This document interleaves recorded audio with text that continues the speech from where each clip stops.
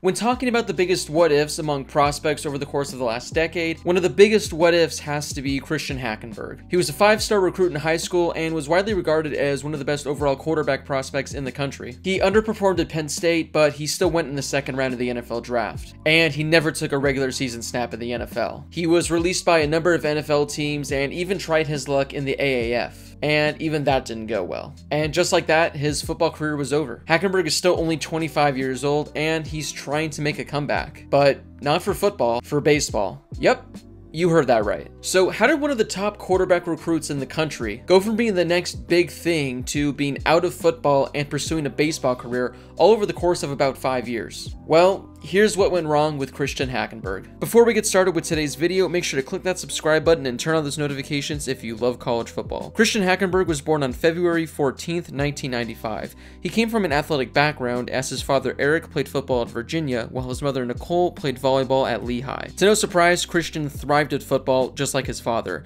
He was a starting quarterback for three years at Fork Union in Virginia. During his three seasons, Hackenberg totaled nearly 5,500 passing yards with 55 touchdown passes. Virginia, his father's alma mater, was the first school to offer him a scholarship during his junior season. However, as Christian continued to impress, more scholarship offers rolled in. Flash forward to the beginning of his senior season. An August 2012 evaluation of the quarterback led rivals to jump him over 100 spots in their class of 2013 player rankings, as he landed inside the top 50 and was eventually viewed as one of the best passers in the recruiting cycle and was also a consensus 5-star recruit. As the season moved along, he climbed up the rankings. He was the number one quarterback recruit in the high school class of 2013, according to ESPN, and was a five star prospect per 24 7 Sports Composite recruiting rankings. Here's what Rivals analyst Adam Gorney said at the time about Hackenberg. When Hackenberg is in the groove, throwing the ball well, and making good decisions, he is arguably the toughest quarterback to stop in this class. There were many times this summer when he was doing all the right things and he placed the ball perfectly. Plus, he has a strong arm and can make all the throws. He could have moved up even more, but there are spurts when Hackenberg tries to make the tough throw instead of the smart throw.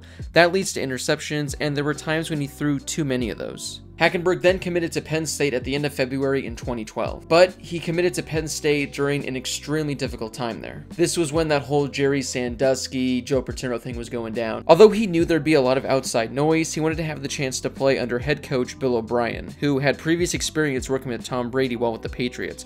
O'Brien sold Hackenberg on his ability to turn the young quarterback into a player who would succeed at the next level. When the NCAA sanctioned Penn State, many players and recruits ditched. But Hackenberg stayed and was widely credited with helping the Nittany Lions land other recruits. More than a blue chip quarterback recruit, Bleacher Report wrote, Christian Hackenberg is Penn State's savior. Bill O'Brien refused to name his starter leading up to the season opener at Syracuse, but on the Friday night before kickoff, it was announced that Hackenberg would be getting the start, becoming the third true freshman in Penn State history to get that role. Hackenberg threw for nearly 300 yards with two touchdowns as Penn State picked up the Week 1 win. The following game, he threw for over 300 yards as the Nittany Lions won again.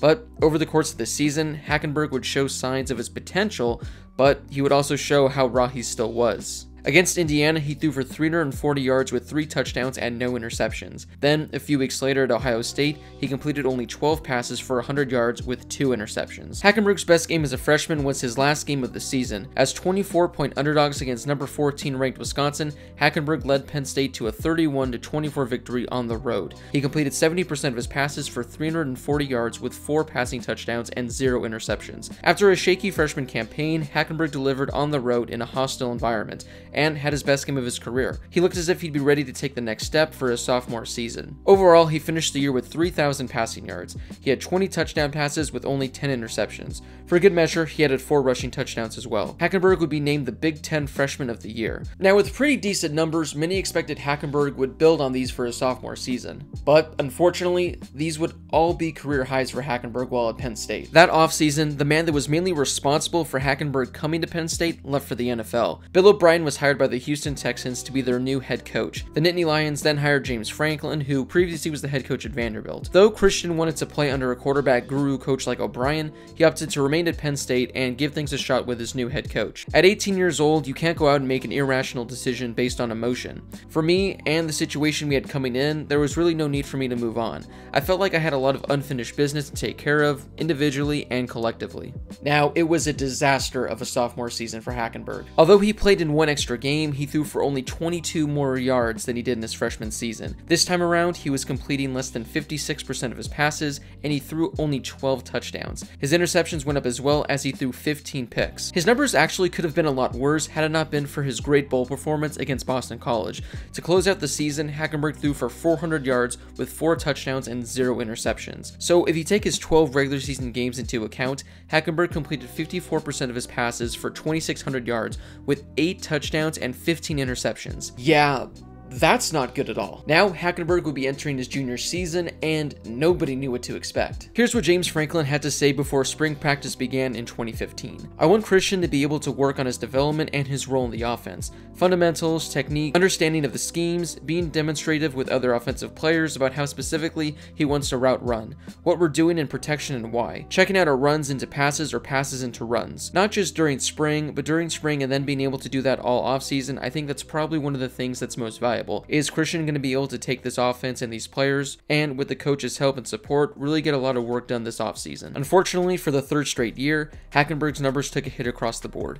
He completed 53% of his passes for only 2,500 yards in 13 games. He did get his touchdown numbers up as he threw for 16 touchdowns, and he also got his interception numbers down, throwing only 6 picks, which was the fewest of his career. The Hackenberg era came to an end following a brutal showing in the TaxSlayer Bowl against Georgia. Hackenberg didn't even finish the leaving with an injury after completing 8 passes and throwing an interception. He drew attention after he thanked practically everyone but James Franklin during a post-game news conference declaring for the NFL draft. While during the NFL draft interview process, Hackenberg blamed his poor performance over his final two seasons on James Franklin. Said one evaluator, despite the fact that it's probably true, you don't want to hear a kid say that. Now, take a look at what one year difference made in regards to how people thought about Christian Hackenberg. In 2015, ESPN's Todd McShay placed Hackenberg atop his 2016 way too early mock draft. He's a big time talent with a pro style skill set. ESPN's Trent Dilfer said Hackenberg would be taken with one of the first five picks of the draft. Scouts and GMs and coaches will drool over Christian Hackenberg. He's very, very, very similar to Troy Aikman.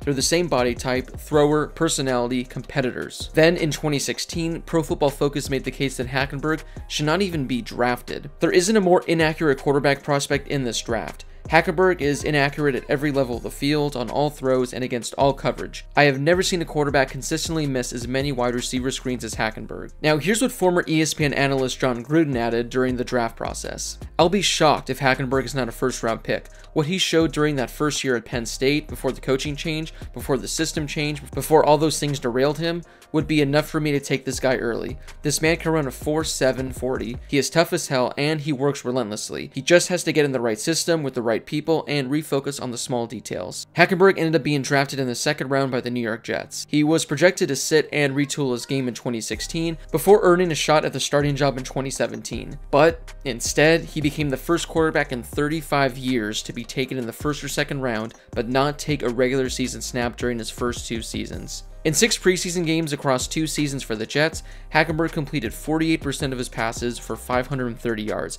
He threw three touchdowns with four interceptions, three of which were returned for opposing touchdowns. He was sacked 10 times and fumbled six times, losing three of them. In year three, Hackenberg was still nowhere close to earning the starting job or even the backup job, which eventually got him traded out of New York, officially the beginning of the end of his NFL career. Jon Gruden, who raved about Hackenberg leading up to the draft, sent a seventh round pick to the Jets to acquire the quarterback. We're looking to get better every day, and Christian Hackenberg was available. He was a second round pick. He did some really encouraging things at Penn State.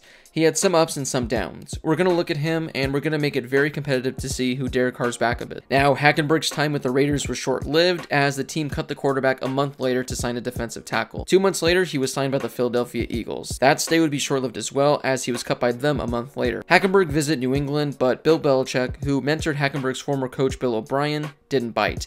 He then joined the Cincinnati Bengals, who added them to their practice squad in early September. He'd be removed from the practice squad in November, and this would be the final time Hackenberg was ever part of an NFL organization. Just two and a half years after Christian Hackenberg was drafted in the second round, he was already out of football, without ever playing a regular season snap. He wouldn't be out of football for long as he was drafted in November by the Memphis Express of the AAF. In his first game of the season, Hackenberg got the start. How'd he do? Well, he completed 10 of 23 passes for 87 yards with an interception. The following week, 14 of 25 for 100 yards and two fumbles. Then the following week, 8 of 14 for 88 yards with two interceptions. And this would be the end of Hackenberg's football career as we know it. The AAF folded, and Hackenberg's professional football career was over. So now, fast forward to June of 2020. It was announced yesterday by Hackenberg himself that he's planning on making a comeback, but not a comeback for football. A comeback, but for baseball. Yeah, you heard that right. Christian Hackenberg is going to be taking the Tim Tebow route and has the hopes of making a career happen in professional baseball. It's like as simple as I can put it. Like I just want to compete, man. Like I, I kind of have had like, you know, my my my my trials and tribulations with the NFL and had success and you know had that had that roller coaster ride and you know at the end of the day I'm sitting here at 25 and like for me like I said, I feel like I got a lot left in the tank. Before landing a football scholarship as one of the nation's most coveted recruits, Hackenberg played baseball at the Fork Union Military Academy in Fork Union. He pitched mainly in relief, showing a live but erratic arm, a lot like his quarterback play.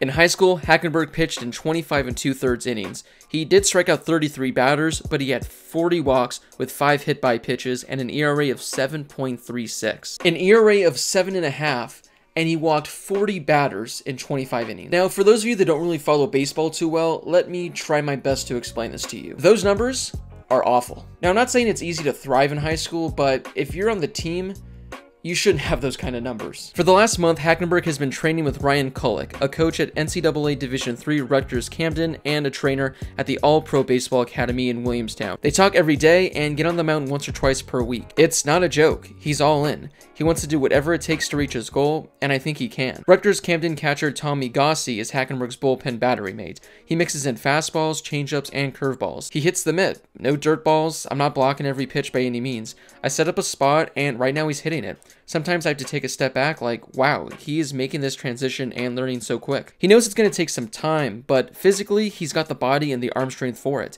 It's a little different with your lower half mechanics throwing a football than a baseball. Once he figures that out, he is going to be pretty damn good. Do I think he could pitch in the big leagues one day? I really do, because he is just scratching the surface with what we're doing now, and I'm already seeing results and improvement. If he continues to do this for another year, there's no reason he can't be 95 plus. He wants it. Now, although I think there's no chance Hackenberg can make it to the MLB, I have to applaud him for giving this a shot. He seems dedicated to making this happen, so whether or not he makes it to AA or AAA, props to him. Seeing how Christian Hackenberg's career panned out, it really makes you wonder what could have potentially happened had Bill O'Brien been there all three years. Now, I'm not saying he would have been an all-pro quarterback by any means, but I definitely think he could have at least been a backup quarterback who maybe year by year gets a few starts here and there. But for some reason, under James Franklin, Hackenberg just folded. Nevertheless, it's been quite the journey for Christian Hackenberg. We've seen how one of his journeys has gone, and I guess now it's officially time to see how this next one goes.